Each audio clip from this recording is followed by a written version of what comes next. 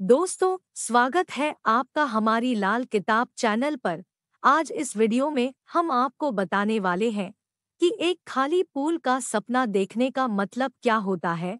अगर आप भी एक खाली पूल का सपना देखने का मतलब जानना चाहते हैं तो इस वीडियो को ध्यान से पूरा देखें और चैनल को सब्सक्राइब नहीं किया तो अभी कीजिए। एक खाली पूल का सपना देखना जीवन के प्रति आपके असंतोष का प्रतीक है। दूसरी ओर यह संभव है कि ऐसा सपना जीवन ज्ञान, अनुभव, परिपक्वता की ओर इशारा करता है। हो सकता है कि आप हाल ही में किसी बड़े प्रोजेक्ट पर काम कर रहे हो जिसे आपने समाप्त कर दिया है, लेकिन इससे आपको कोई भौतिक लाभ नहीं हुआ। हालाँकि आप जानते हैं कि आपने अपने काम के दौरान बहुत सी नई चीज़ें सीखी है।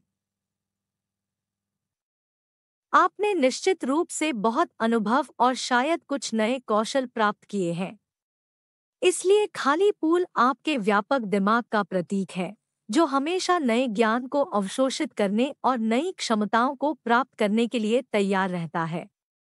आपने जो कुछ हासिल किया और सीखा है, वह आपको उन बड़ी गलतियों को दोबारा नहीं करने में मदद करेगा जो आपने अतीत में की है। आप चुनौतीपूर्ण परिस्थितियों का सामना करने के लिए बहुत अधिक तैयार हैं।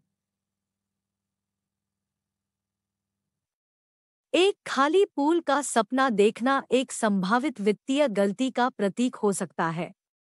आने वाले समय में आप क्या निर्णय लेते हैं? यदि उनका संबंध पैसों से है तो बहुत सावधान रहें। यह संभव है कि चीज़ें वैसी नहीं रहने वाली। जैसी आपने कल्पना की थी।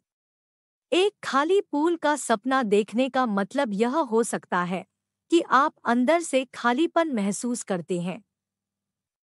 हो सकता है कि आपके जीवन में अभी अभी बुरा दौर आया हो, आप उदास एवं उदासीन महसूस करते हो, साथ ही कुछ भी आपको उत्तेजित नहीं करता है। आपको अपने भविष्य के लिए कोई आशा या इच्छा नहीं है। यह आपके लिए आरंभ करने का संकेत है। भविष्य की ओर एक कदम, कम से कम एक छोटा कदम उठाने की कोशिश करें।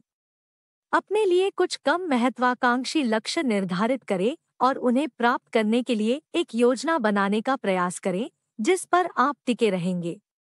और अतीत में जीना बंद कर दें। आप कुछ गलतियों या बुरे विकल्पों से परेशान हो सकते हैं।